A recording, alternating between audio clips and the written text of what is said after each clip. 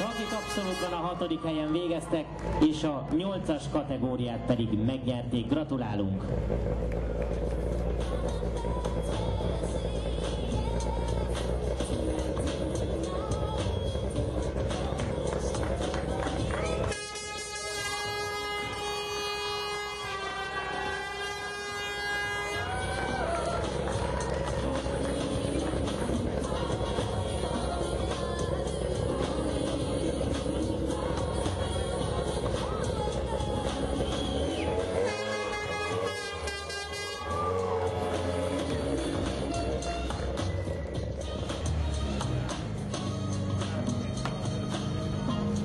13-as kategória második helyezett érkezik